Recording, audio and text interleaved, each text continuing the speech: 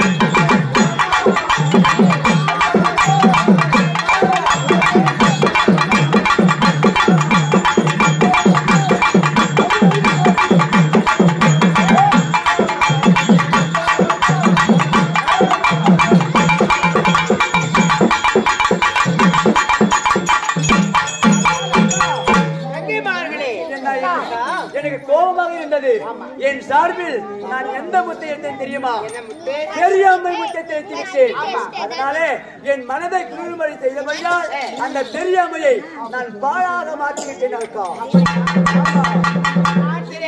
நான் போட்ட முத்து ஏய். ஆணி முத்து ஏய், என்னுடைய அண்ணா இருக்கும்படியான கண்ணன் பரந்தாமன் சாத்தாதி எம்பெருமான் என்னுடைய அண்ணா வீடு. நான் முத்து முத்து போட்டேன் ஆணி முத்து. ஆமா. என் கோபம் தெளிந்தது ஏய். கோபம் தெளிந்தபடினால் அந்த ஆணிமுத்து என்று சொல்லும்படியான ஆணிமுத்தை நான் எடுத்து விட்டேன் என் அண்ணா மீதில் இருந்து ஆறாக போய்விட்டது ஆமா. ஆனால் அக்கா ஏ, நான் கருமுத்தாக தெளித்திருந்தேன் ஆமா. அக்னி தேவன் மீது ஆமா. கருமுத்தை தெளித்திருந்தேன். என்னுடைய கோபம் தணிந்ததினால் ஆமா. அந்த கருமுத்தை இறக்கிருக்கிறேன் அக்கா. அப்படியா? ஆமா. அப்படி ஆகட்டும் தங்க. அக்கா தங்க அப்படி வாய். நான் செல்லியமா வந்திருக்கிறேன் அக்கா. சொல்லுமா இல்லையா? வாய் தேவனாகப்பட்டவன் என்னை மதிக்கவில்லை என்று. ஆமா. இல்லையா? சிறு அம்மாவை தெளித்து ஆமா, அவனை துன்பப்படுத்தினேன் அக்கா. அப்படியா? இப்ப அதாவது இந்த திருவிழா ஏற்படுத்தி. என் மனதை குழு கு- குழும்படியாக செய்து விட்டார்? இன்று தினத்தில். நான் ஆபாசமாக இருந்தவள் ஆமா. இன்னைக்கு மனது சந்தோஷமாக இருக்கிறேன் அக்கா அப்படியா ஆமாக்கா அதனால அந்த சின்ன முத்தி எடுத்து விட்டார் எடுத்து விட்டேன் அக்கா அப்படியா இன்று நாம் அவர் மீது போட்ட முத்தை எல்லாம் ஆமா. இறக்கினோம் ஆமா அதனால் நான் என்ன முத்துமாரியாக ஆமா. முத்தை இறக்கக்கூடியவள்.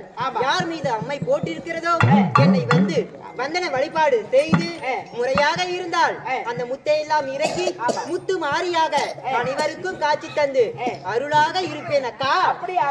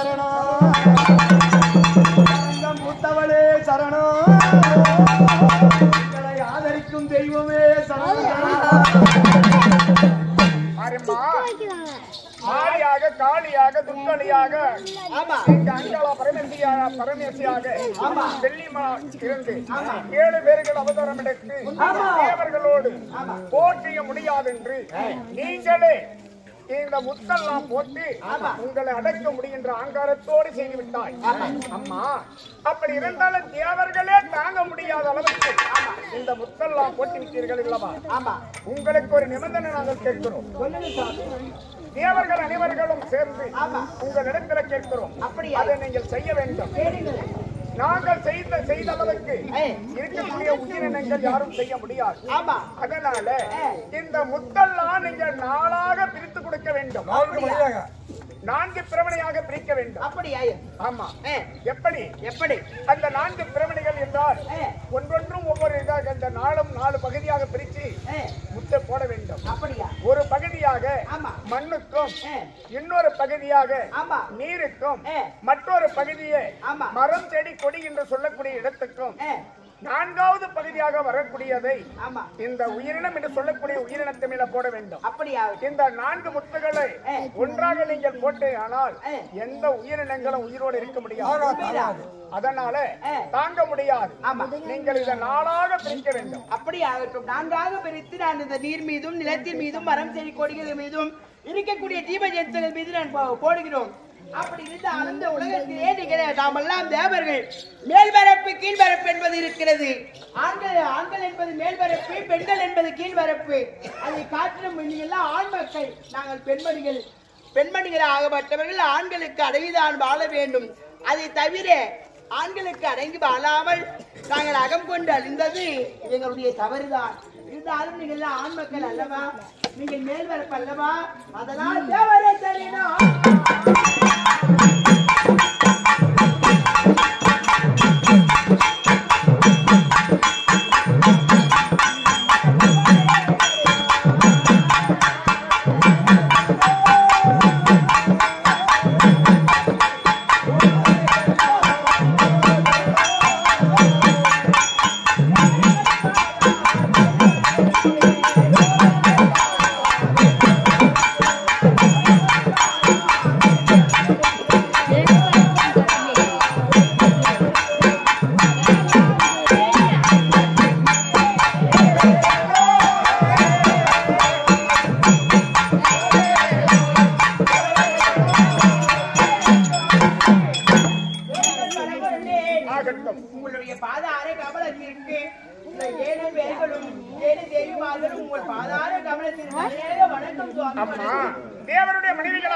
இருந்து உங்களால் மாமிக்கும் என்பதை முசிக்க முடியாத அந்த ஆங்காரத்தோடு ஒவ்வொருவர்களும் உங்களுடைய ஆங்கார கோபத்தை உருவாக்கி இருக்கிறாய் அங்காளா பரமேஸ்வரியாக மாரியம்மனாக செல்லியம்மனாக உங்களுடைய துர்க்கையாக அவதாரத்தில் இருக்கிறாய். நீங்கள் இதுவரைக்கும் எந்த ஒரு மாமட்சமும் இல்லாமல் இருந்து இங்க இடத்தில் நீங்க காவெடுக்க மனிதனவே எடுக்க வேண்டும் தேவரவே எடுக்க வேண்டும் என்ற கோபத்தில் வந்ததனால உங்களுக்கு இதோ பலி கொடுத்து இந்த உருவத்தில் நீங்கள் எங்க வேணுமானாலும் சென்று உங்களுடைய கோபத்தில் எல்லா பலியும் நீங்கள் எடுத்துக் கொள்ளலாம். அப்படி உங்களை எல்லாம் இந்த தேவர் மூவர் என்று சொல்லக்கூடிய வரத்தினாலே பூ உலகிலே உங்களை கோரி பல அவதாரத்தில் நீங்க இருக்கின்ற காரணத்தினால் அந்த ஒவ்வொரு அவதாரமும் என்னுடைய குலதெய்வம் என்று ஏற்று உங்களுக்கு பலி கொடுப்பார்கள். இந்த உருவத்தில இல்லாமல் அந்த மாற்று உருவத்தில சென்று இப்ப என்ன உருவம் இருக்கிறீர்களோ இந்த உருவத்தில சென்று நீங்கள் பலி வாங்கி கொண்டால் எந்த ஒரு குற்றமும் கிடையாது. இந்த உருவத்தோடு இருக்கிற காரணத்தினால் உங்களுக்கு பலி கொடுக்கிறோம். இப்போது நீங்கள் வாங்கிக் கொள்ள வேண்டும். அப்படி ஆகட்டும்.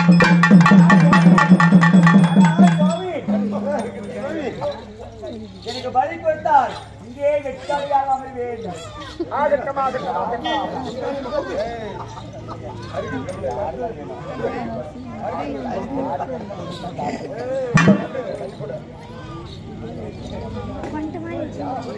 வந்து தலைக்கு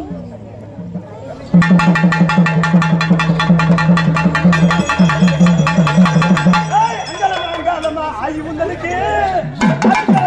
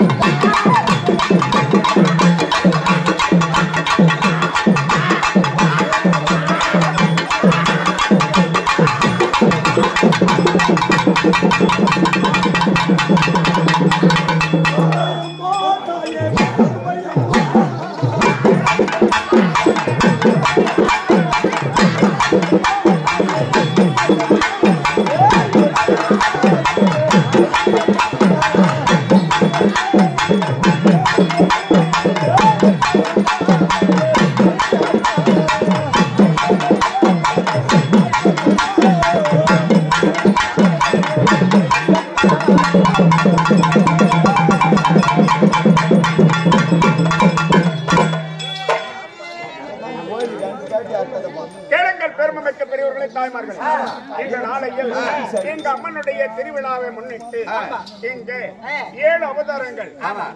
ஒவ்வொருவர்களும் எவ்வாறு இருக்கிறார் என்று நாரதனுடைய மனமாக பெற்றது. பல நாட்களாக தொட்டுக் கொண்டிருந்தார். அதனால அந்த நாரதனாகப்பட்டவர் ஏழு அவதாரம் ஏழு அவதாரம் என்று அம்மையார் சொல்லிக் கொண்டிருக்கிற அவதாரத்தை நம்ம பார்க்க வேண்டும் என்று சொல்லி தேவர்களுடைய இடத்திலே சென்று அவர்களை பிரிக்க அகோர கோபம் கொண்டு ஒவ்வொருவர்களும் இங்க பார்வதாதியரினுடைய அவதாரத்தோடு அங்க ஏழு அவதாரமாக துர்க்கையாகவும் செல்லியாகவும் ஆங்கர ஆங்கரமாக மாரியம்மளாக உருவம் கொண்டு வந்திருக்கிற போது இவர்களை இப்படியெல்லாம் அடக்க முடியாதுன்னு சொல்லி மாரியானவள் வாரியை முத்தெல்லாம் இறைக்க அந்த முத்தாகப்பட்டது தேவர் மேல பட தேவரெல்லாம் தாங்க முடியாமல் வந்தன வழிபாடு செய்ய